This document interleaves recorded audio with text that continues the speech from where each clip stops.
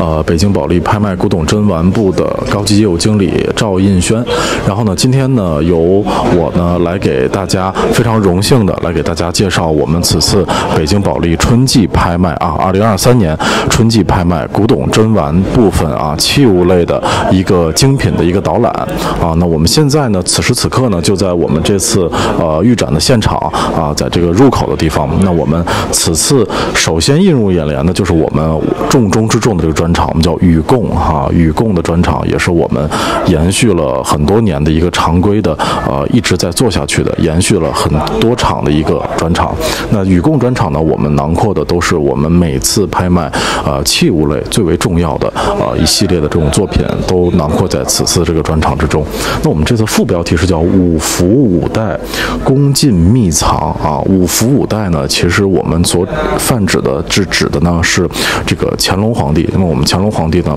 是一个在他是在整个清代啊，无论是在位时长还是他的这个。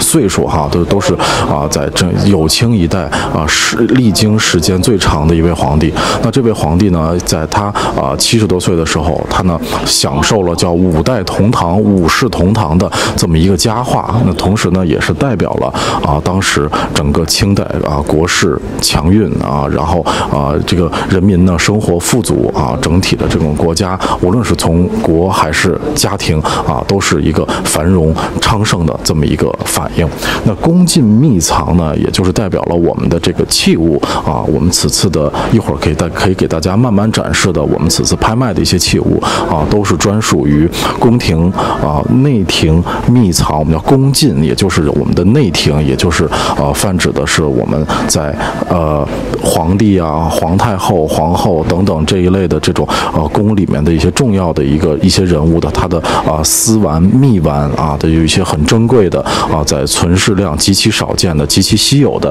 啊，这么一系列的这种宫廷的作品啊，能够在很有幸的能够在今年的这个二零二三年的春季拍卖能够给大家呈现。那我们就往里走吧，就不给大家卖关子了。那我们第一件。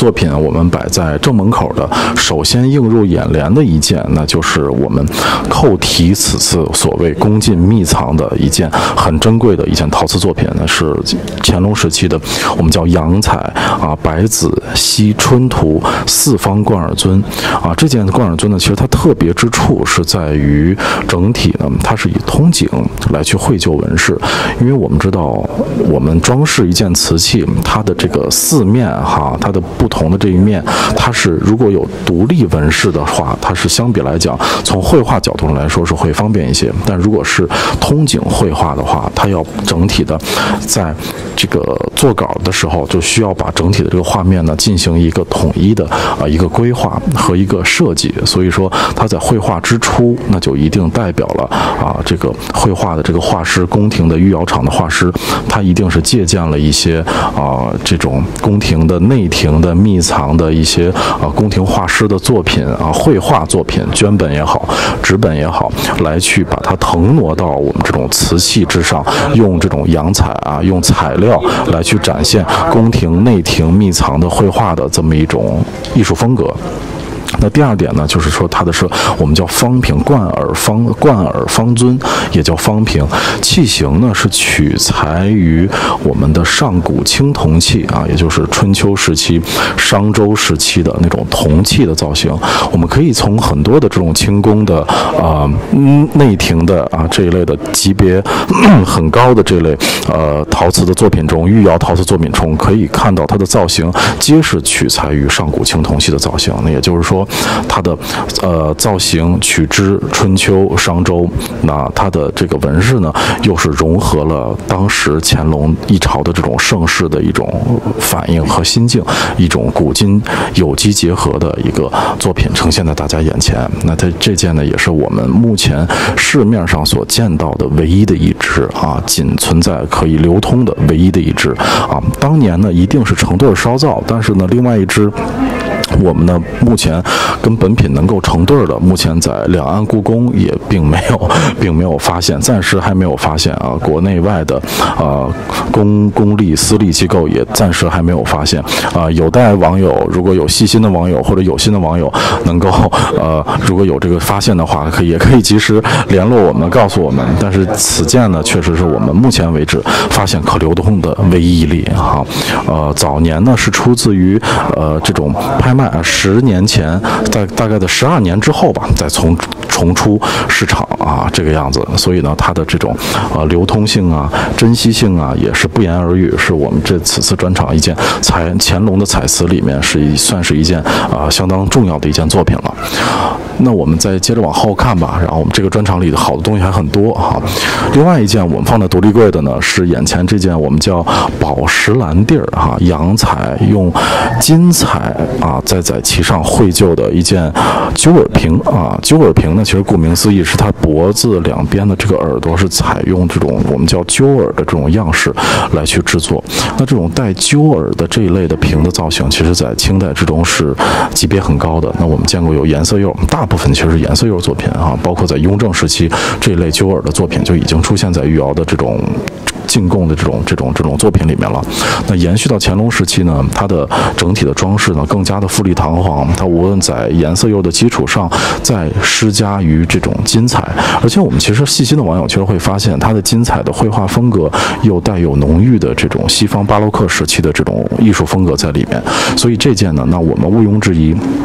一定是一件啊，比如说受到了这种西方传教士影响之后，如郎世宁啊这样的人啊，传教士影响之后，宫廷造办处啊，御窑厂来去创新啊制造的这么一类专供御前赏玩的这一类的陈设器。而且呢，我们再说一下它的设色，其实是特别有意思的，因为这种宝石蓝釉描金的啊，这种呃蓝色和金色来去做一个视觉上强烈对比的啊这类设色的作品。其实是同样的这一类的颜色搭配，也是出自于西方的一种主流审美啊。可能当时的呃英国人或者法国的宫廷贵族对于这一类设色的作品，他们是更加青睐的。那中国的御窑厂呢，也把这种西方的审美呢带入到我们中国的传统的皇家审美之上啊，来给当时的乾隆皇帝有一种耳目一新啊、眼眼前一亮的这种感觉。所以我们现在研究这一类的这种造型的瓷器呢。我们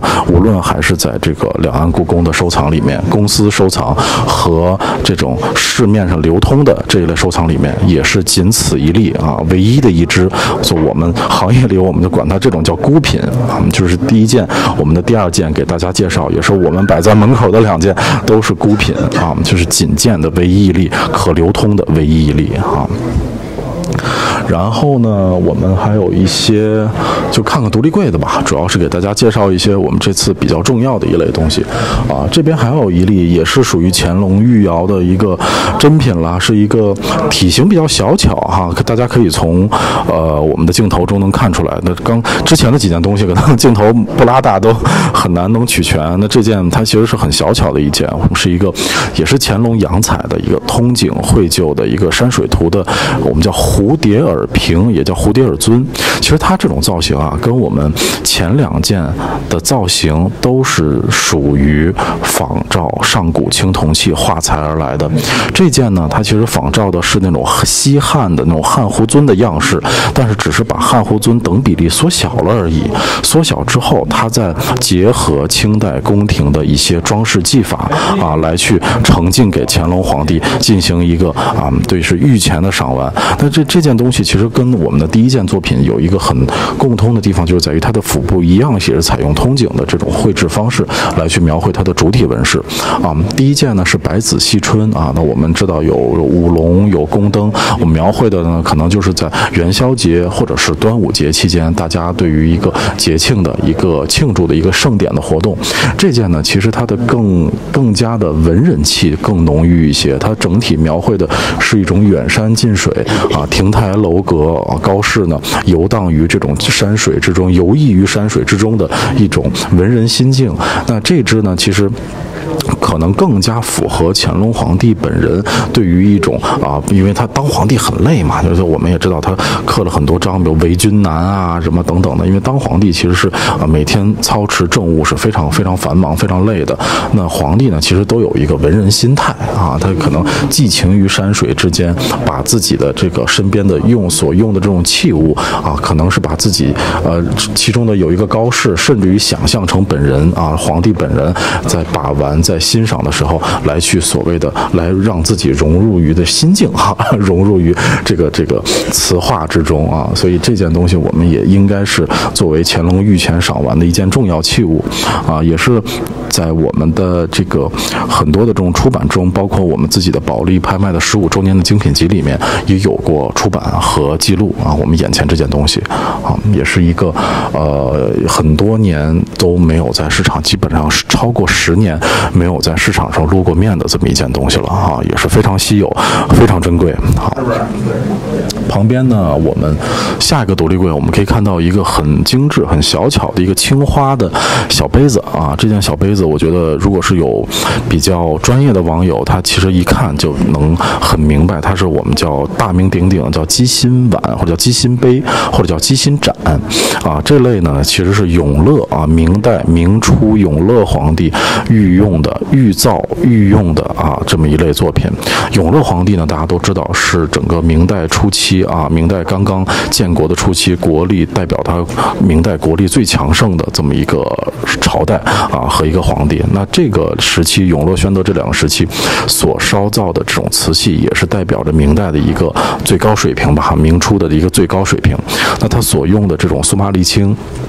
和它这种小杯子中间，我不知道大家能没有没有机会从镜头中能够展示它中间的这一类啊比较繁复的啊非传统中式纹样的这种几何的这种交叉的这种纹饰啊，充浓郁的就有那具有非常浓郁的这种伊斯兰的风格。那其实也是在侧面证明了当时正好下西洋之后，无论是它的苏麻离青料啊带回来的苏麻离青料，我们舶来品嘛，还是我们的文化，其实都是当时跟永乐。皇帝永乐御窑啊，永乐御前亲自使用的这一类的器物，都有一个文化上的一个交互的影响啊，跟传播。所以这个件这件东西呢，也从侧面证明了咱们这个中国在明代最盛世时期啊的时候，跟中西方交流的一个产物。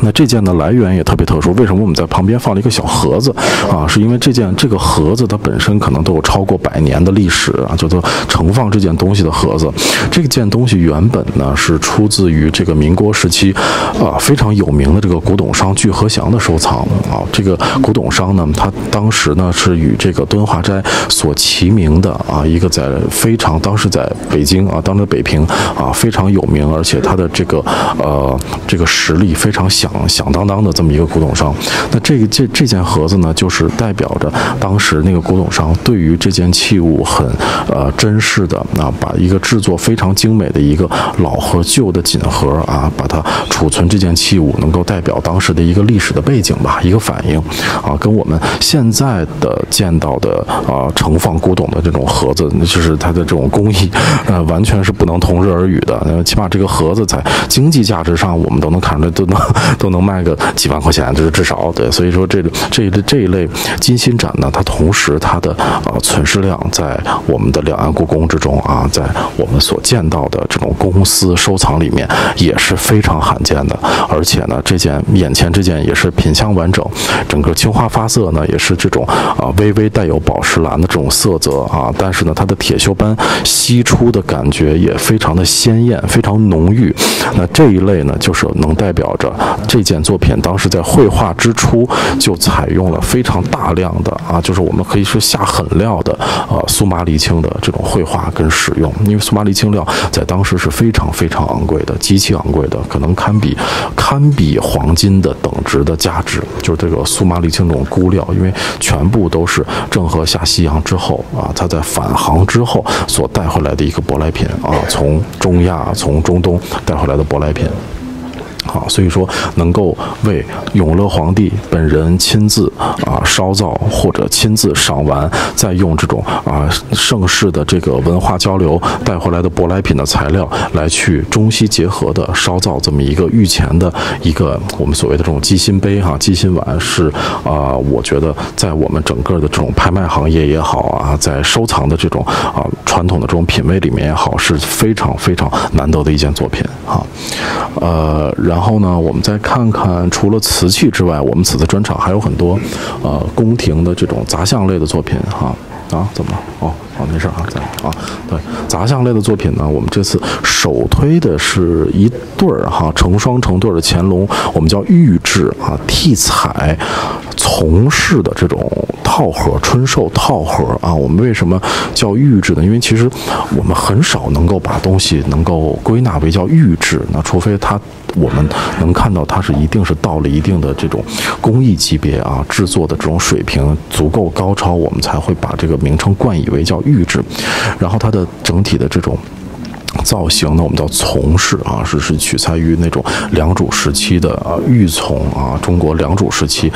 玉琮的这种形式。那我觉得稍微专业些的网友，他们都会有这种基础的这种这些知识，不用我多说了。那等我们想说的是，这件工艺上来说，是在乾隆的所有的清代的漆器里面最登峰造极的一件作品，就是我们眼前的这个套盒啊。我们可以很负责任的讲，无论是它的啊多层。套色和它的这种啊巧妙的这种设计，因为包括它的呃方就是天圆地方嘛，它方的地方采用的是这种啊深色的漆，而且它圆的地方呢又采用朱漆。朱漆之后呢，它套盒里面又是是盒套和大盒套、小盒。那具体小盒的用意，可能在宫廷的这个当时的里面呢，是用意比较比较多样、比较广泛。我们不追，我们现在不不去追求它的这个这个作用啊或者用法，那我们去单纯单纯。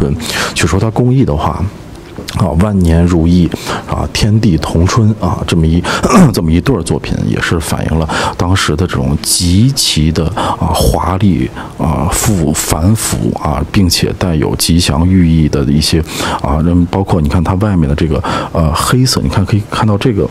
这个地方，它这种深色漆的部分啊，方的部分，它是用采用百寿的这种形式，这种百寿的纹样，其实我们最早都可以追溯到明朝或者是康熙时期比较有名哈，就是那种康。器的百寿笔筒啊，百寿尊呢，我们从瓷器的青花瓷上可以经常看得到。但是以百寿作为啊漆器上的这种装饰，其实是很罕见的一种装饰装饰方法。然后呢，在侧面圆形方套圆嘛，圆形的侧面啊。开光的地方，又采用这种高浮雕的形式啊，雕饰这种高视图啊，然后携亲访友啊，然后在寄也是一样是寄情于山水之间。你看两个高士席地而坐啊，旁边有一位童子童子啊，奉来仙桃，然后在这种松树之下，远山近水，亭台楼阁，就是这一类的这种装饰，也无无外乎不时时刻刻啊，让这种乾隆皇帝本身在欣赏的时候有一种啊高士的情。情节啊，寄情于山水之间的情节。那中间呢，在它的河面的部分。有非常精致的啊，雕刻了一个聚宝盆啊，里面呢装饰的这雕刻的各式的这种宝物吧，珊瑚啊啊，然后宝珠啊、金锭啊等等等等这类我们的所谓的就是当时的稀世珍宝。上面呢是呃有一个大的一个春字的一个纹样，春字中间又雕刻寿老啊，寿老旁边整个春字的这个周围又以这种啊祥云跟五仔五爪这种双龙来去围绕，就是所以说它这件作品的整体的。装饰纹样啊，是极其的繁复，极其的费工。所以说这一件作品，我觉得从一开始制作到完成，至少可能要甚至于要历经两年多的时间啊，才能完成，最终完成这么一件作品。所以漆器本身就是一个非常耗时费工的啊，一个一个一个宫廷宫廷造办处所制作的这么一种门类。对，然后我们再看看看看看什么呢？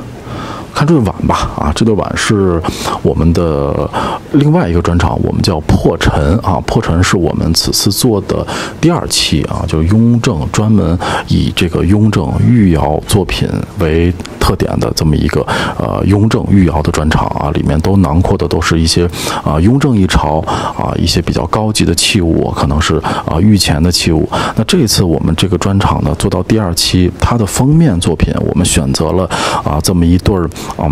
雍正的这种洋彩或者粉彩啊牡丹蜂蜜纹的这种茶园儿啊一对儿啊茶园一对儿作为我们这次的一个封面作品。那这件作品它其实呃。很很特殊哈，它特殊点是在于它第一，它体量比较小巧，因为我们一般见到的这类雍正时期粉彩，比如说会描绘牡丹啊这一类的纹饰，我们一般都见在盘类哈，我们见过有那种菊瓣盘儿啊，菊瓣盘儿呢，它的四周呢是模印菊瓣，中间呢也是会以这种牡丹的这种纹样，但是它好像没有密封啊，那种菊瓣盘儿我们现在见到的市面中见到的单只的价格都在两千万以上啊，人民币两千万以上。那我们这次呢是一对儿碗是成双。成对儿，它不单是以用这种多层次的材料，以矾红、以黄彩、以白彩、绿彩等等的啊，以多层、多媒介或者是多。就是这种这种比较多样化的材料来去描绘纹饰之外呢，它还很巧妙的在大量留白，因为雍正大家知道他是一个本人的这种很很就是他的这种品味很很高雅啊的一个一个皇帝，他呢对于他自己御用的这类瓷器，他是有一个很高的一个一个亲自督办督造的要求的。他其实他在这个档案之之中呢，曾多次提到过啊，留白要多一些啊，要把这种啊。所谓的主体纹饰能够凸显出来啊，留白要多一些，不要把画片画的那么满。这是雍正可能本人亲自啊来去来去来去提出的一些要求。那这件呢，它在大量的留白之上呢，还非常巧妙的在侧面绘制了两个小蜜蜂。就是你看这只能够看的比较明显，你可以用把镜头放大一点哈，描绘两只小蜜蜂，然后呢飞翔在这个两只两两个我们主体纹饰的牡丹的旁。边啊，也在这个也下面有两个小绘画的小野菊的这种上面，所以也是，呃，展示了这种雍正皇帝御前器物的一种一种一种一种挺另类的一种风格吧。我觉得，因为这一类东西啊，我们看似呢是一个很传统的宫廷的这种纹样，但是呢，还有它活泼的一面啊，还有它这种很很阳光的一面啊。所以，对这这这一类东西，我们觉得，作为雍正御窑里面，应该也算是极其。极其特殊的一个门类。啊，然后我们接下来会看到一个这个整个雍正专场，我们体量最大的一件东西啊，是啊雍正仿古啊，也是你看我们刚才所说的，我们前面的很多瓷器，乾隆乾隆御朝的御窑，它的造型都是取材于上古青铜器的，这一件也不例外啊，也是取材于我们商周时期的一种古铜器的造型，我们叫汉壶嘛啊，汉壶尊也叫啊，然后双这个这个两边呢又竖以这种饰以这种如意。异形的耳啊，如意耳呢，代表这种万年如意的这种吉祥寓意。通体呢是仿官釉啊，仿官釉呢又是仿照的是中国传统宋代宋官窑的这种釉色啊，所以叫仿官釉。那也是唐英呢在雍正时期，唐英在这种啊这个我们叫仿古大官釉嘛，我们在《唐英记事碑》里所反复提到的一种创新的釉色，从雍正时期开始是发明被。唐英发明啊，创造烧造，那并且呢，得到了历朝历代帝王的喜欢，尤其是雍正皇帝、乾隆皇帝，他们两朝的这种官窑里面可以见到很大量的这种啊仿官釉、仿鸽釉，就是仿宋代陶瓷釉色的啊，仿汝釉啊、天青釉啊等等这一类东西，那也是代表着啊，代表着一个，我个人觉得应该是代表着一个。从清代宫廷之中这种陈设器里面审美的一个最高峰，我为什么这么说呢？因为其实清代宫廷我们可以见到之前的那些瓷器，无论是青花还是彩瓷，它一并一定呢是是这种。这种势必就是装饰啊，势必有意，意必吉祥。它会通过大量的绘画啊和装饰，或者是材料的堆叠，来去展示它的这种瓷器啊制瓷的这种技艺的高超。但是呢，啊，我们这件反而眼前这件呢，它啊摒弃了所有的这一类的绘画的这种这种东西，反而以最淳朴的啊仿宋窑的这种状态来去面向世啊，就是来去来去给宫廷进行一些装饰。那所以说这一类东西，我认为还是代表着整个，无论是在现在的这种收藏的这种门类里面，现在收藏的眼光，还是在三百年前啊雍正乾隆时期的这种收藏眼光里，都算是品位极高的一类这样的器物哈。然后剩余的我们这些展柜里面呢，也可以看到我们此次破陈这个雍正专场里一些其他的比较好玩的啊一些小件的器物啊，有一个琥珀料的一个六方的水城，底下呢是用刻款啊非常小，在镜头中可能不是很方便展示啊琥珀料的六方形的水城料呢其实就是料器，就是玻璃啊，但是我们现在的工业的这个发展之下，玻璃其实是变成了一个相比来。讲啊，比较廉价的一个一个材料，但是远在三百年前，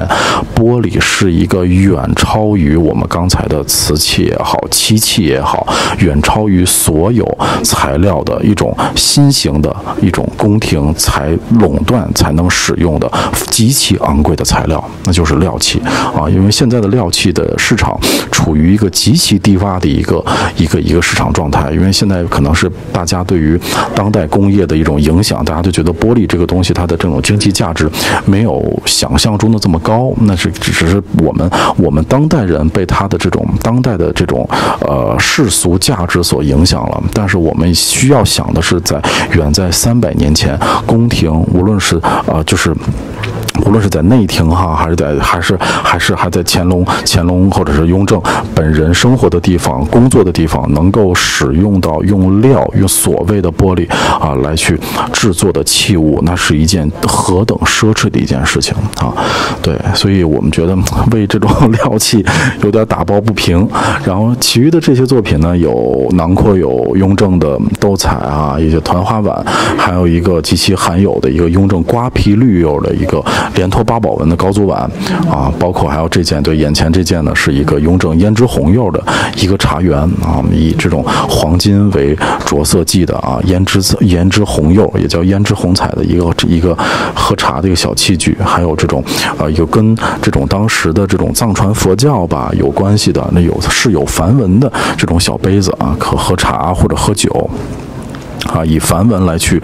结合斗彩装饰啊，等等的啊，这类雍正的器物，我们在都囊括在这个很精心的为大家挑选，并且囊括在这个专场里面。然后同时呢，还有一些颜色釉的作品啊，大家在镜头中也都一一展现出来。茶叶墨釉啊，窑变釉哈，粉青釉，还有一些彩瓷啊，包包包括这两件，我们把这个 龙纹的跟龙纹放到一起了，有一个很体量很大的一个斗彩的啊，绘制五彩祥。祥云啊，和这个绿龙这么组合的一个我们叫直景的天球瓶啊，体量非常庞大，也是代表着雍正御窑的一个挺高的一个水准。但这件呢，并没有落款儿啊，这件并没有落款儿，是我们整个的这个雍正专场里面应该是唯一的一件不落款的一件作品啊。它应该是属于在烧造之初啊，可能是呃为了打样，或者是呃也有可能呢，是因为我们可以看到它的龙纹。还是五爪龙啊，那肯定是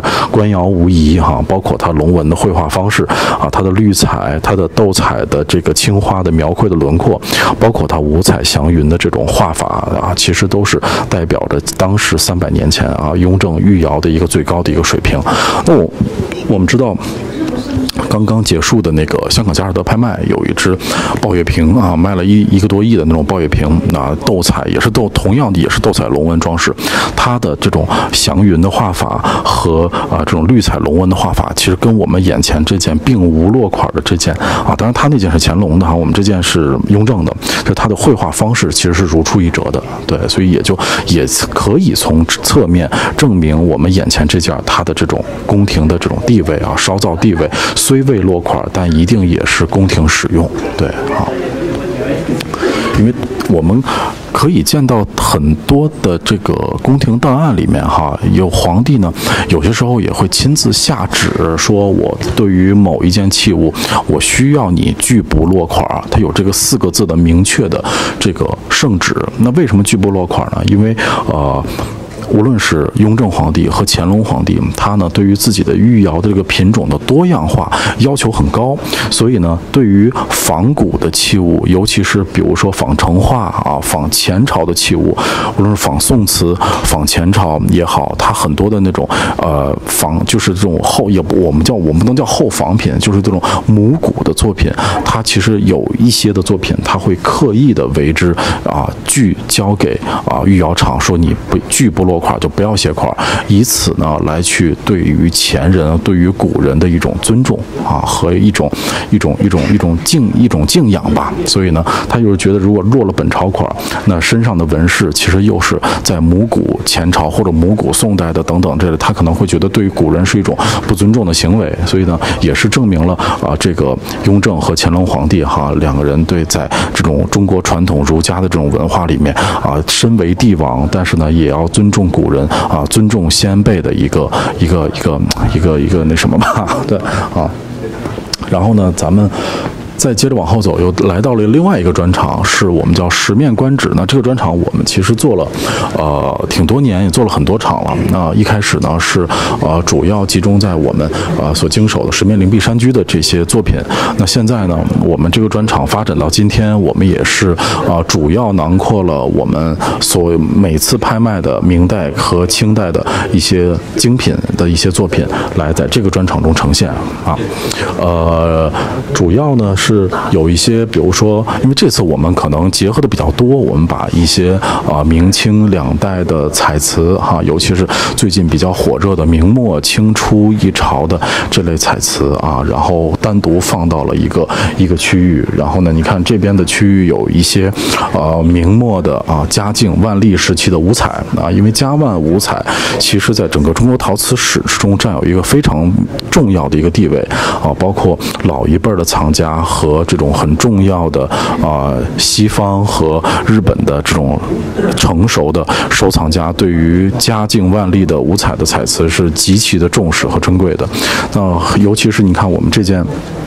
中间的这件万历的这种斗彩八吉祥碗，它本身呢是以这种佛教的啊佛教的这种主题来去描绘主题纹饰，而且它同时呢，万历的斗彩就非常的罕见，因为我们在万历跟嘉靖时期大部分见到的都是五彩装饰，那以斗彩装饰的，而且又是仿成画的这一类的作品，在万历时期是极其罕见的。那又是因为它的以佛教题材的绘画，那我们现在推断呢？就应该是他当时所烧造的一批非常精致的一批瓷器玉窑啊烧造，因为因为有落款的是官窑啊玉窑作品，专门啊给这种皇家的宫殿的佛堂或者是皇家的寺院来去供奉使用的，所以呢烧无论是烧造工艺还是拉胚啊立胚和它的釉面等等的所有的工艺，都呈现出万历朝最最顶级的一种工艺特征啊。那你看旁边这个这个青花五彩碗，其实也是万历的。那我们可能也能 很明显的做一个对比。那这只碗它呃，无论是绘画，因为万历五彩其实它的艺术风格就是这样，就是让人看起来会有一些浊气感哈，但是那种浊里又带带有一种所谓浊感的这种这种这种精致的这种精神。那就是这一类的这种瓷器，为什么啊它的这种浊感会给人带来一种很不一样的感受？跟我们所谓的跟这种清代的这种雍正、康熙。西乾隆一朝的这种极其精致的这种瓷器，呃，有一种很大的一种对比，一种反差，这也是它啊的一种魅力的所在啊。这种万历晚明的五彩，那它这种拙感呢，同样都是万历时期的。那它的这个这这件东西的这种描绘的这种方式，就可以跟旁边我们刚才所说的那个万历斗彩的这个碗，能对能够看出来很大的一个一个距离一个差别。那所以就侧面证明了啊这一类的这种斗彩碗啊斗彩这种佛教题材啊。它的这种制作的这种精致。还有这边也是囊括了一些啊明清两代的。你看这件，我们把两个了红红龙啊红龙碗放到一起了，一个是康熙的釉里红，一个是嘉靖的矾红啊嘉靖的矾红。因为嘉靖晚就是等于说明代晚期，呃万历万历嘉靖嘉靖万历的时候呢，它的这种釉里红的这种烧造技术其实已经没有那么的去，就是一到这个国力啊稍微的走那个什么的时候，它就对于釉里红的烧造，它其实把握的并没有那么好了。所以呢，它就用这种釉上的矾红来去替代釉里红，以满足宫廷对于红色龙纹瓷器的一种需求和使用需求。那右边那件呢，它就是反而到了康熙时期啊，康熙十几年御窑厂恢整体恢复了之后啊，这件呢应该是在康熙盛世的时候是用纯的铜红釉里红烧造的这么一个龙纹碗，其实也就是象征的两朝的一个朝代的一个更迭，跟工艺的一种区分，工艺的不同，其实都是啊游龙啊，都是火焰纹啊，有那个两条游龙赶珠啊，在这种日这个云纹之中，火焰纹之中啊，但是两两两只碗呢又呈现出完完全全不同的一种姿态和艺术效果。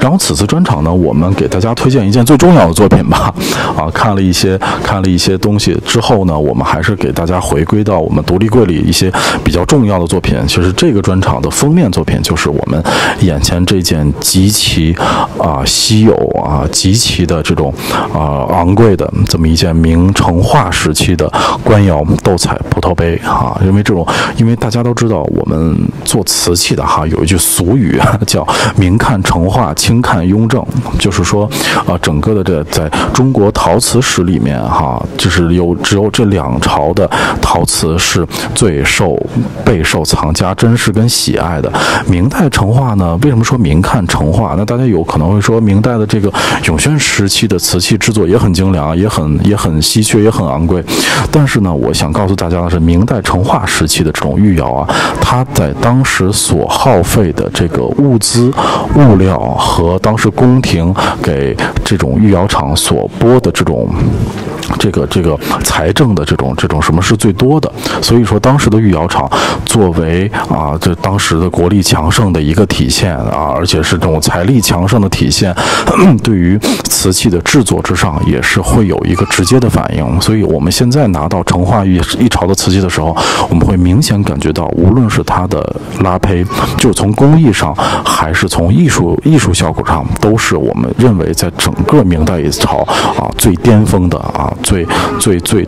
特立特立特立独行的啊，一一一个一个一个品种，包括它釉面的这种肥厚程度、油润程度，它的这种。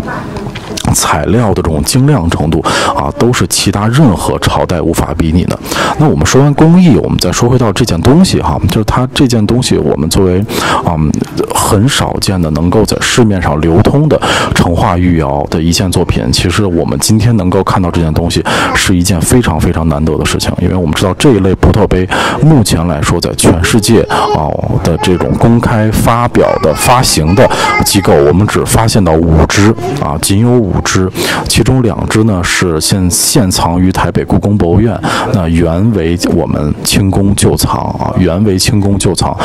整个清代啊，包括明代晚期，再到整个清代啊，举国之力也只收藏到了两只这类这种成化的葡萄纹杯，然后呢，还有两只呢现藏于首都博物馆啊，首都博物馆它是呃赫舍里木出土的两只葡萄纹杯，那我现在总共加起来呢。其实也只有这种，只有只有四只。那这一只呢，是我们现在市面上能够见到的，而且可流通的，可在市面上交易、可流通的唯一的一只啊。所以大家可想而知这只的这种珍贵。那我觉得，无论是作为啊个人收藏哈、私人收藏，还是作为馆藏啊，比如说大现在大家呃这个。比如，比较有实力的一些网友，他呃有心做这种个人博物馆的，或者是公司的这种公司的旗下的啊一些文化事业的一些朋友，那对于这一类成化斗彩、官窑斗彩的这个品种的收藏，我觉得啊，作为无论是作为馆藏还是私人收收藏，都是首屈一指啊，出类拔萃啊，绝对应该拥有不可或缺的一个门类啊。对，然后这个专场其余的一些东西。也可以简单带大家看一看啊。这边有两件呃元青花的作品，这两件呢皆出自于我们鼎鼎大名的这个瑞士梅银堂的收藏。因为我们北京保利呢对梅银堂的这个收藏啊，继香港之后，我们把整体的梅银堂的这个收藏啊都经手了一遍。那早年呢，我们在一七年、一八年也是办了几个专场啊，我们就专门对梅银堂的收藏办了几个专场拍卖，也获得了很好的效果。那现在呢，我们还能陆陆续续的能够给大大家展示跟推出啊一些零零星星的把一些梅银堂旧藏的这类东西，包括两件元青花的作品。我觉得在现在在市面上能够买到啊开门的，而且造型品种啊足够特殊，包括它本身的质量也足够完美的这一类元青花的作品，那已经是十分难得的一件事情了啊！因为元青花我们现在大家都知道是，呃，无论是所有的陶瓷爱好者，无论是初学者还是啊很很专业的人，对于元青花都是有一个不可磨灭的情节。那对于元青花，也在整个中国陶瓷史中扮演了一个举足举足轻重的地位。所以能够啊有幸能够买到啊来源出众啊品相相比来讲保存比较完好啊，然后它的整体的质量啊颜色呀画面呀，而且最主要的是开门的元青花，但此次是一个很难得不可多得的机会了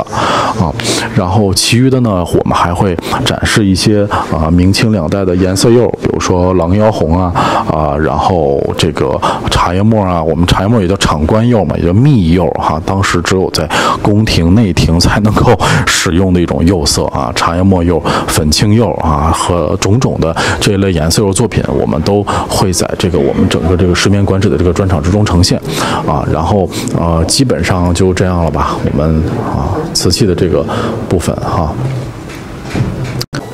呃，各位观众，大大家晚上好。那我现在接小赵老师的棒啊，继续给大家介绍呃下面的专场。我现在所在这个区域呢是叫憨楼集古，呃，是一个私人收藏。那这位呃委托方呢是也是一位从业三十多年的一位呃呃藏家，同时也是呃行家。他跟我们有长期的非常好的合作。那这次呢对我们。呃，可以说是鼎力支持啊，提供了一批非常品质上乘的藏品。呃，这个专场呢以陶瓷为主，其他另外有一些宫廷陈设呀之类的东西啊。那我们就从我们现在可以看到的呃开始。呃，首首先第一件呢是一个这个独立展柜，是一个呃明崇祯的青花。呃，叫脱靴一案这个大比海啊，那我们知道这个呃瓷质的文房大概是从明代晚期开始进入一个制作比较鼎盛的时期，呃，尤其是这个笔筒类的作品啊，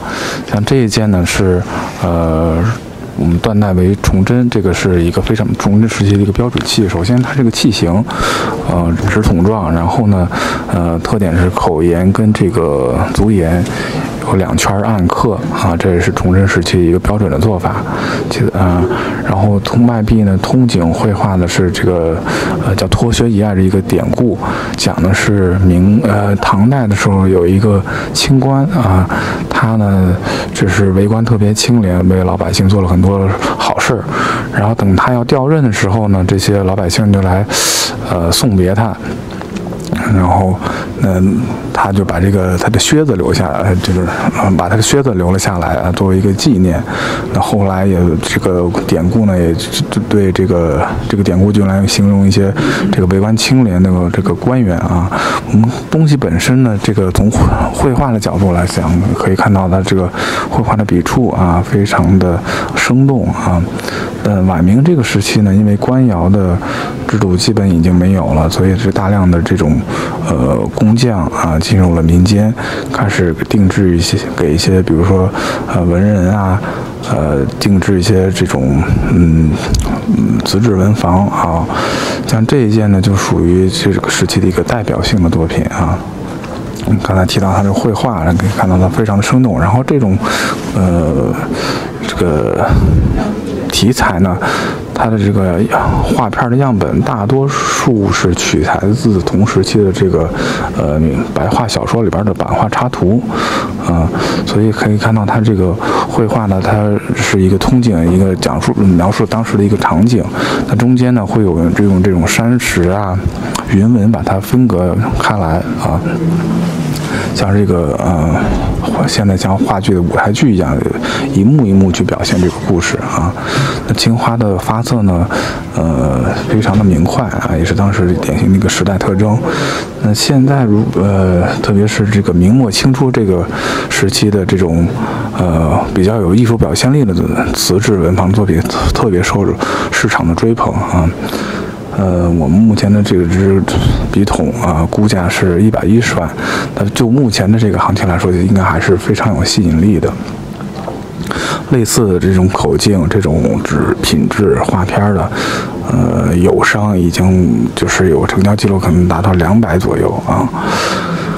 然后我们可以看一下这边的几件啊小的这个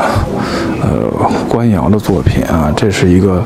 呃康熙青花矾红仿成窑的一个作品啊，可以看到的绘画的纹饰龙纹的表现，呃形象就是完全对成化官窑的一个模拟，它是用矾红绘海水做地子，然后呢青花绘这个腾龙啊可以。就表现这个呃像龙这样腾跃在海水之上，非常有动感。这个红色跟青花的这种蓝色对比，非常的有视觉的冲击力啊。这也是成化官窑里边非常高级的一个品种，嗯。啊，这是呃康熙官窑对成化的一个致敬吧？啊，它的书款也是属大明成化年制，书风也是嗯对书法的风格也是成化官窑的这种风格，完全的一个模拟。然后旁边呢是一个嘉庆的啊青花的五彩花神杯，你知道这个花神杯是康熙官窑的一个呃首创。它的最显著的特征是，首先它是成套出现的，而且是是以月令为这个每每每一花对应一月，每每一月有对应的诗文，啊，它是而且是把这个诗书画印，呃，这种各种艺术集合在一件器物上面，是非常有代表性的一个作品。呃，到了雍正呃之后的雍正，呃，也有也有这个画成本呢，已经数量非常少。少了，呃呃，乾隆自己没有见到，但是呢，我们看到这是一只嘉庆是极为罕见的，呃，表现是二月杏花花神杯，看它的造型啊、胎釉啊，也是完全是继承了康熙时期花神杯的这种样式。那旁边呢，也是一对非常精巧的这个，呃。这个仿成窑的作品啊，画的是这个宝相莲花啊，青花画这个叶片，矾红画这个花卉啊，呃，是成窑的一个在清代重新呃，就是清代官窑对成窑的一个继承。可以看可以看到它这个胎釉品质非常的明润，呃，也是这个呃用途呢，应该是可以作为这个茶器去使用。呃，属于清代官窑茶器的一个代表性的作品。嗯，旁边呢是一个紫砂的一个团菊壶啊，看看到它的这个壶的壶盖啊、器身啊，都是用这种团菊去呃去装饰啊。呃，菊花呢，在中国的传统文化里边有这个长寿的寓意。那用菊花对装饰，也就特别是中国的茶文化，呃，也是一个非常历史悠久的一个文化。用菊花去装饰，哎，呃，可以说是对它一个呃非常巧妙的一个应用。嗯，旁边呢，这边是有几个呃颜色釉的小品啊，这是一个非常呃。典型的一个啊，乾隆时期的一个呃红釉的茶园啊，造型呢非常规整，嗯，很精巧。釉色呢，呃，略略显深沉啊，这个但非常耐看，来源非常好，是北京市文物公司的旧藏啊，特别是它的骨架无底架起拍啊，非常的有吸引力。嗯，类似的作品我们曾经卖过十几万一只啊，特别是这种小体量的，呃，品质比较好的这种小杯，现在是市场一个。应该是一个追求的一个热点吧，因为这种东西呢，就是有的非常实用啊，有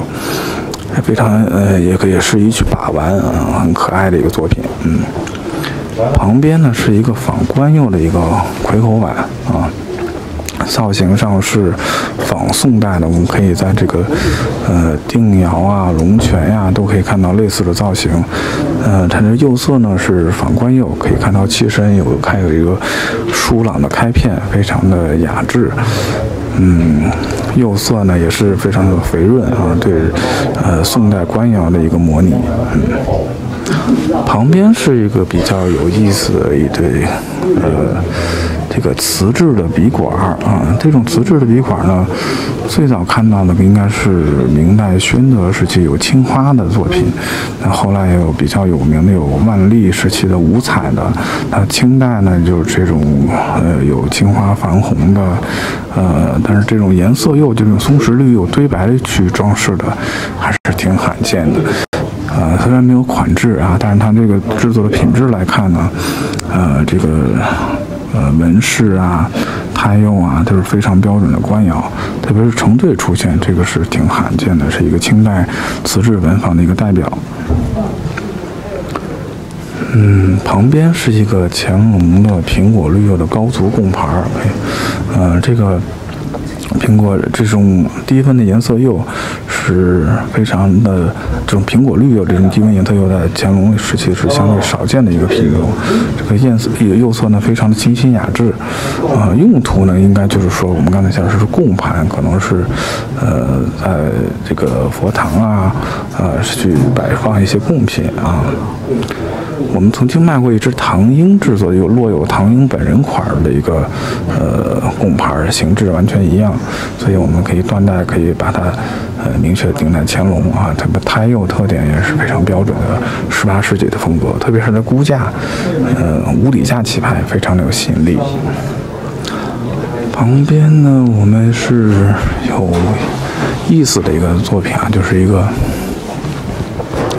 乾隆的一个粉彩的瓷板啊，体量是比较大的。这种的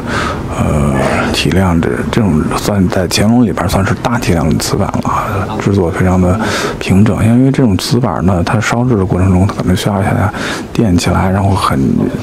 容易会出现一些呃釉面不平整啊，或者变形啊。那这个是釉光呃，这个是。呃，整体的形制非常的规整，然后呢，画面呢，设色布局繁复饱满，这是一看就是非常标准的乾隆彩瓷的特征啊。可以看到它这个绘画是非呃也是很有这个绘画的这种功力啊。可以看到山石的这种皴法呀，树木，呃，松树这个松针啊，树上的这个结疤都表现得非常的细致。人物呢，散落在山间啊，这个散落在山间，包括这个有各式形态各异啊，非常的生动。老人、小孩儿啊，仙女啊，这个各色式的服饰，表现的这个是非常热闹的一个场景啊。嗯，知道这个绘画里边说这个人物，呃，这个呃。有一个话就是怎么这个阿堵传神哈，这可以看到这确实是呃挺确切的，就是他的眼神非常的生动啊，可以说眉目传情这种感觉啊，色色非常的艳丽，嗯，好，下一个是也有一个他旁边这个这个是。康熙时期的一个五彩的大缸啊，我们知道这个彩瓷呢，在康熙呃五彩是是康熙时期最出名的一个呃一个门类了啊，可以因为它是这个呃跟粉彩呢这种柔和呢不太一样，它这种非常的艳丽啊。这个大纲呢是，呃，外壁绘这种锦地儿，啊，可是花卉为地的，然后设四个开光，开光里边再画这个花鸟，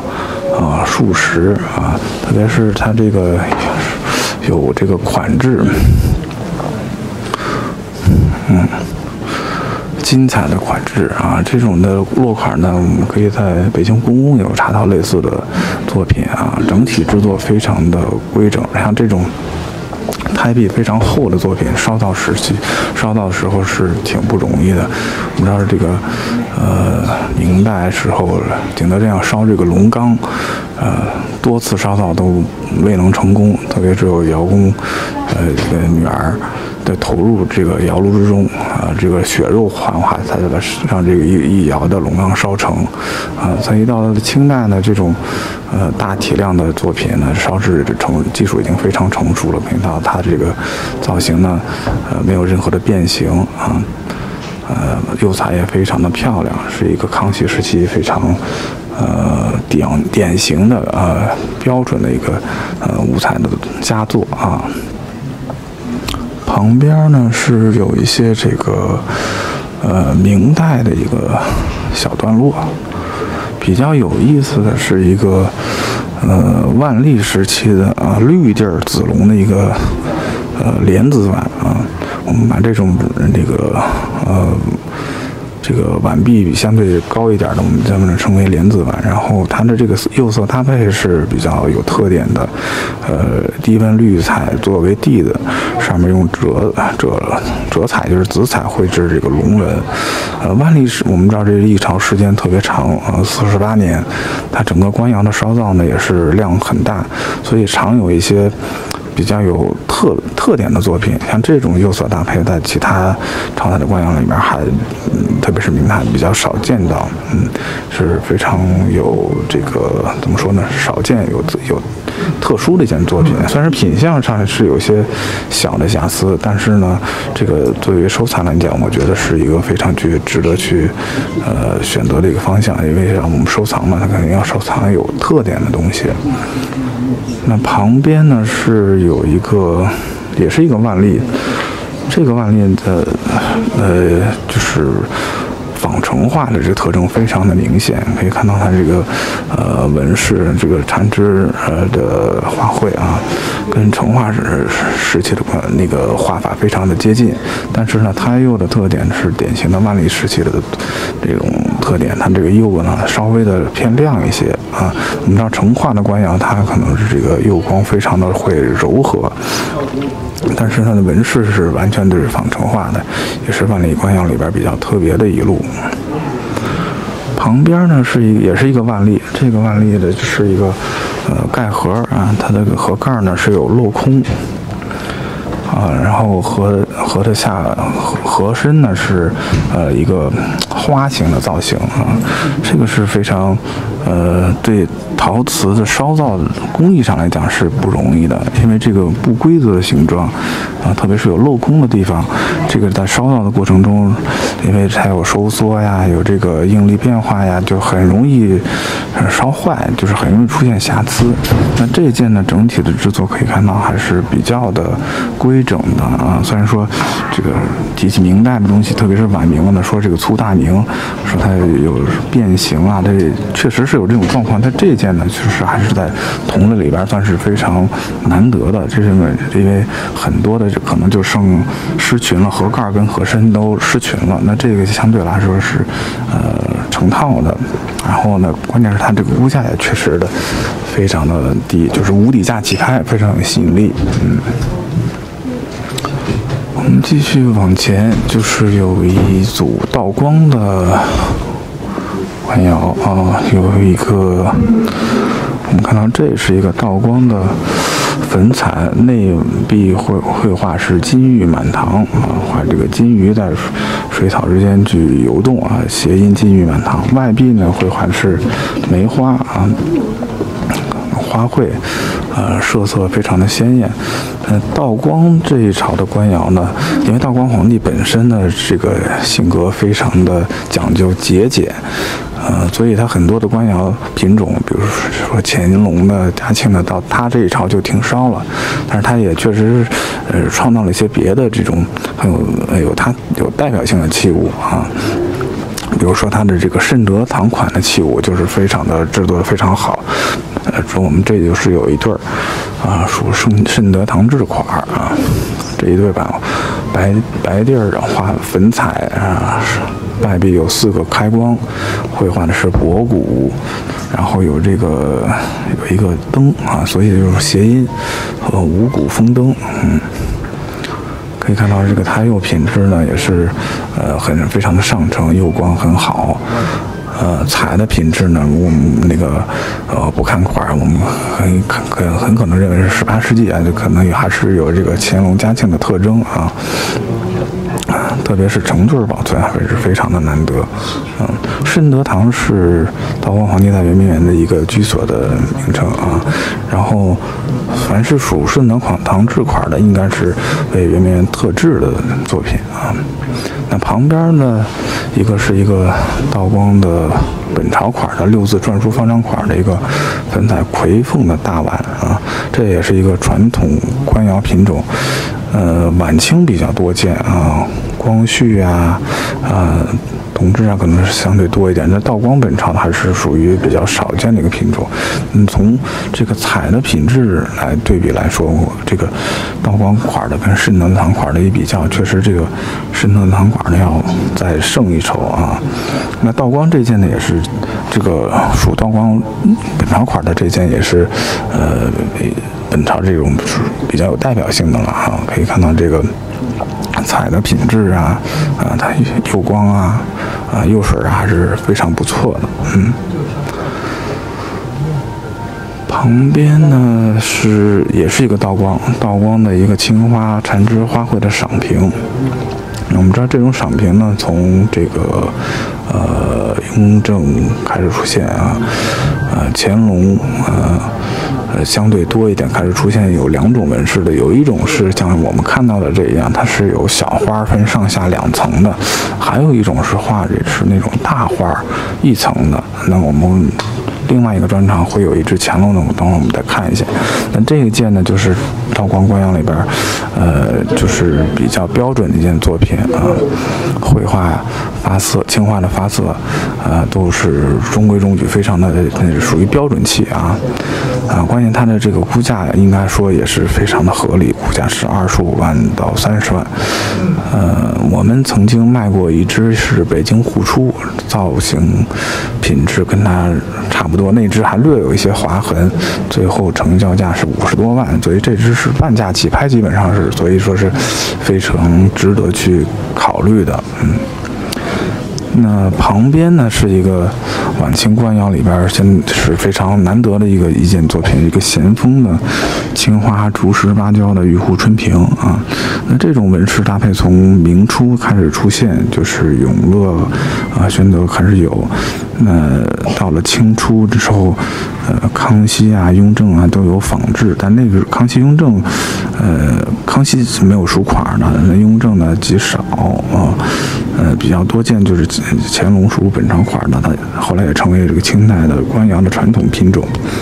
呃，绘画的纹饰呢，跟明初就基本是保持了一致，啊，绘画的这种技法上也是用用了一些，呃。仿宣窑的画法，就是说它用这个点染去表现，呃，永宣青花苏青的这种铁斑沉积的效果。那到了清代，特别晚清啊，咸丰这一朝，因为这个时间很短哈，呃，官窑的烧造呢，呃，品质量少，但是它的呃量非常少，但是品质非常高啊，所以也是市场呃收藏来说是一个热点。那这件呢？从它本身的这个胎釉品质啊、青花发色呀，呃，都非常好，呃，是前咸丰官窑里边是一个非常不错的一个件作品啊。旁边是一对儿，呃，道光仿鸽釉的八卦从事方瓶啊，那这也是官窑的传统品种。呃，那仿歌釉呢，就是从呃雍，就是歌谣作为这个宋大五五大名谣之一，对后世的这个影响也非常大。就明代就呃就开始仿歌釉啊，到了清代呢，比如说最有名就是雍正时期啊，这个唐英开始仿，呃，《陶成记》《陶成记事碑》里也有提到，嗯，他这种，嗯，这种。天然的开片啊，就是非常喜受到这个雍正皇帝的喜爱，特别雍正之后开始乾隆啊，呃，历朝都有仿制。那这种八卦从事方瓶呢，也成为一个官窑的一个传统品种。那这一这一对儿这个道光呢，首先它这个品呃，从本身的品质来说，烧到非常的呃。这个规整啊，釉光很好，釉水很肥厚，特别是成对保存，这是很难得的。嗯，旁边呢是有一个呃晚清的一个小段落，这是一个呃大雅斋啊，大雅斋就是呃慈禧皇皇后的这个呃个人的呃。定定烧的一些这个官窑啊，这是一个画的是紫藤水仙的这个呃紫藤的这个水仙盆儿。那这种呢，呃也是官样御瓷，我们在呃故故宫出版那个图录里边可以找到了啊一样的作品啊，特别是成对保存，这个保存质量啊非常好。啊，这个釉彩啊，它釉的非常好，可以看到它这个大雅家的块儿，包括它的“天地一家春”的这个印章啊，整体的制作是非常上乘的，在晚清官窑里面属于呃非常好的这个品种。旁边呢，就是我们有一个呃。这边了，就是我们有一个艺古坊，这个宫廷艺术与重要瓷器玉器工艺品的专场啊。我们现在看到是一个呃仿官釉的一个三阳尊啊，这个乾隆乾隆的。然后呢，这个呢造型，首先它是其实是仿汉代的这个铜壶啊。颈部啊，器身呀，凸起悬纹，然后呢，肩部又呢装饰了三个羊首，啊，就是寓意三阳开泰。通体施釉是仿官釉，可以看到这釉水非常的肥润啊，又曾开有这个疏朗的开片啊，非常的耐人寻味。然后特别是它这个羊头的部分啊，其实呃刻画还是蛮细致的，这个羊角。羊的眼睛、嘴，它其实都有刻画表现，但是因为这个釉水的肥厚的程度不一样，因为这种突出的部分釉水不太容易挂得住，所以它会釉水比较薄，这样也就把它的轮廓就显示出来了。然后这种造型呢，属于乾隆官窑里边比较呃高级的一个品种。啊，因为它这个造型，我们刚才提到是仿古的，啊，釉水也是仿宋的啊，然后呢，这个器型呢又很端庄沉稳啊，气韵很古朴啊，这是确实是属呃，在乾隆官窑里边属于一个呃，其实我们不看款制啊，很可能把它认成雍正的啊，然后呃，特别是它的来源非常好，是瑞士梅因堂的收藏。梅因堂我们知道是这个呃陶瓷收藏的一个非常重要的藏家啊，他曾经收藏的这个成化斗彩鸡缸杯，在香港曾经创下二点四亿元的天价，也一度是最贵的中国艺术品啊。那所以他的收藏，他收藏的东西也是对于这个陶陶瓷的收藏藏家来说是一种。呃，怎么说呢？是属于呃一种标杆性的东西。能如果能有幸收藏一件，应该来讲是呃非常去值得去呃作为一个事情去怎么说呢？去呃作为一个里程碑的事情去去做的啊。然后这是因为他的收藏大部分已经沉淀下来，所以现在重新出现在市场上还是非常值得去入手的。那旁边呢是有一批这个明清官窑啊，然后我们从这边开始的话是正好有一组雍正的仿钧窑的一四件作品啊。这个我们刚才提到，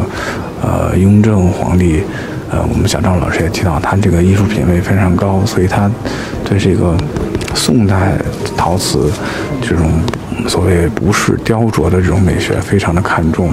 啊，他宋因为宋瓷大部分是完全是以釉色取胜，那钧窑作为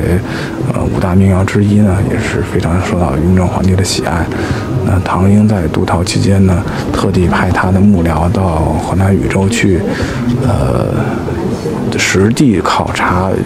这个钧窑的窑址，来。仿制仿钧釉啊，最后我们也获得了成功，所以他在他们陶成记事碑里有五十七种仿古彩金的釉色，仿钧釉也是其中之一。那我们现在可以看到它的这个钧釉啊，比如说这个这一件，它这个红蓝的这种交融斑驳的感觉，就是非常的漂亮啊。然后嗯。这种釉水的流淌的这种感觉啊，呃，就是说对钧窑所谓玫瑰紫的一种复制啊。那旁边这个石榴墩呢，这种釉水呢，可能旁跟旁另刚才那件品呢，又显得更为肥厚一些。它这种交融呢，就就是它这红跟蓝的这种。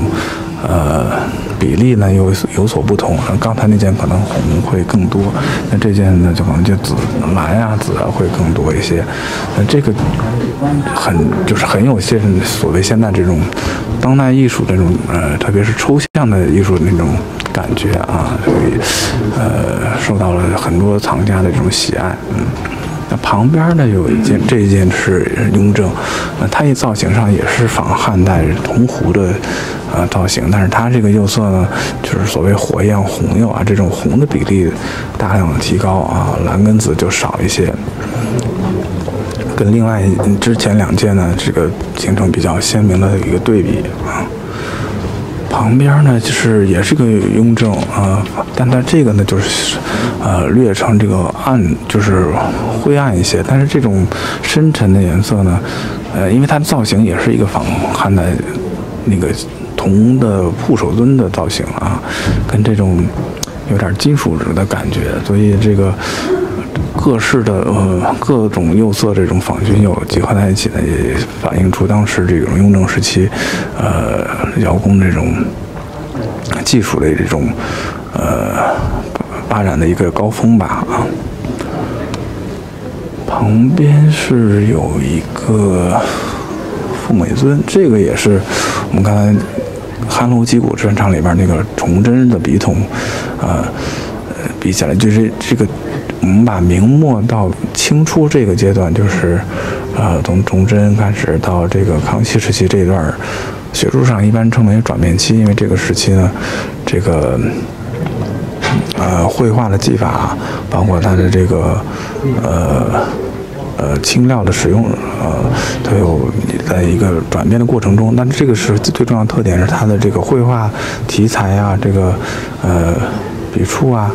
呃，非常的生生动啊，写实，这不太受到官窑的那种束缚，所以，呃，画的非常活。这一段也是市场的一个现在的一个热点。那这一件表现的是一个竹林七贤的一个题材，可以看到这种，呃，人物在这种竹林间这种或呃弹琴啊、吟诗啊，非常逍遥自在的一个状态啊。特别是他把这个康熙时期这个。陶瓷青花瓷器啊，锦皮亮釉这个特点表现的非常好。青花绘画的这种木分五色的，也是一个典型啊。这边呢是我们有一这场的一个封面作品，是一个青花啊缠枝花卉挂耳的一个大尊啊，这是也是呃清代乾隆时期官窑的一个。大型的陈设器啊，给它的造型呢，其实也是从这个呃青铜器画材过来，是两个挂耳，然后它肩部是一种折肩，线条呢非常的富裕沉稳啊，然后通体的这种纹饰啊非常繁复，从口沿、颈部、肩部到腹部是分层分层的纹饰，然后青花的发色呢非常的呃明快，嗯。绘画的笔触上呢，也是使用了，呃，这个所谓清宫档案里边的仿宣窑画法，就是用重笔点染去模拟永宣，呃，苏麻离青青料这种铁斑沉积的效果啊。但它的纹饰上呢，它有有乾隆时期的这种创新，啊，比如说它这个肩部的这个花卉，啊，类似团花，嗯。其实这种笔触上还是有受到一些，呃，西方就是当时同时期，呃，欧洲巴洛克风格传入清代宫廷的一些影响，啊，所以它其实其实是一个中西结合，然后古今融汇的一个作品。那这个作品呢，呃，呃，在。首先，它从存世量并不是说很多，呃，凡出现在这个拍卖市场都以高价成交。我们曾经卖过类似的完整的，成交价达到了七八百万。然后呢，这一件确实是有一些瑕疵，就是它在烧造的过程中，可能因为呃温度过高造成的，它就有一个我们有陶瓷烧制里边有个术语叫过烧。过烧导致它的釉面呢，就是从这个侧面可以看到，就是略微有一些鼓起来，就是起泡了啊。嗯，但是这整体的造型其实是还是非常的规整，没有什么变形。嗯，所以因为这个瑕疵呢，我们的估价估值也是非常的有吸引力了。啊，目前的估值是估价一百三十万。嗯，呃。应该是讲，对跟完整器来比的话，这个是其实它并不影响陈设哈，那就是确实是还是蛮值得去呃纳入收藏的一件作品啊。旁边呢是这边也是有一个。呃，道光的，呃，这这个是个乾隆，这是一个道光，它它它都是这个白地儿的洋彩的作品。所谓洋彩呢，就是，呃，清宫档案里边对这使用这种绘画技法的一个，呃，正式的称呼啊，就是它是运用了一些西方的，呃，绘制颜或者是绘画的技法啊，然后用很多这种光点去表示它这些。呃，阴影啊，明暗啊，啊，呃，最鼎盛的是当然是乾隆时期的了啊，但但这种绘画的风格的。对对，之后的官窑嘉庆啊，包括说道光啊，有非常多的影响啊。这是嘉庆这件灯笼尊呢，是嘉庆时期呃道光时期一个呃比较少见的品种啊，它又都非常的好，彩的质量也很高，属于道光官窑里面比较罕见的一个呃作品，难得的一个作品。那下边呢，就是一个另外一个道光的啊。呃，比较比较标准的一个洋彩的作品啊，它呢是外壁是胭脂红压道，然后设四个开光，然后再画这个四季山水啊。那这个它的母本应该是从乾隆开始出现的，呃，乾隆的有相有一比较。标准的称呼就是成为洋彩的，呃，实物呢现在收藏在台北故宫，然后道光呢这种的作品呢有一定的呃。存世量，除此这除这种画山水的外，还有这个什么暗夜灵符啊等等各式各式不同的节庆使用的外，那这一支呢，就是从它釉质量来说，包括绘画的技法，呃，都是道光里边属于呃非常顶级的品质了啊。然后我们目前的估值是五十到八十万啊，类似的曾经高峰时期啊，他们卖过百，所以这个应该是也。是性价比蛮高的一个作品。旁边呢是一组清代的这种呃仿永宣的画法的作品，这是我们刚才提到的一个乾隆的青花的赏瓶。那个它的这个就是说腹部纹饰是这种单层的大花的，特别是经上面有弦纹啊。然后它的绘画笔触还是比较标准的，使用了这种呃宣扬画法啊，发色也非常好，整体造型呃非常规整，也没有这个呃歪斜呀、瑕疵啊，非常标准的一个乾隆的呃陈设的呃陈设的一个呃一个属于我们讲叫是硬通货了啊，就是呃非常流通性非常好的一个作品啊。那下面是有一个比较有意思的啊，是一个雍正的青花折枝三多碗啊，外壁画这个这个折枝三多，然后绘画的技法也是跟上面的这个优呃赏评一样，它也是仿宣阳画法，然后款制很有意思，这是大清雍正年制六字三行款，然后。